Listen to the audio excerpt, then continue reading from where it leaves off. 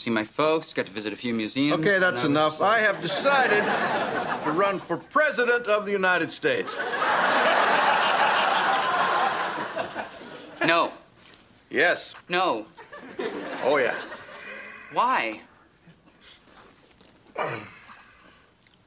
Why not?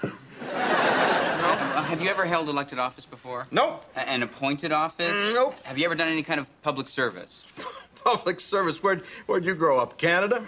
I, I better get Lisa in here. Great. Tell us both about Ohio.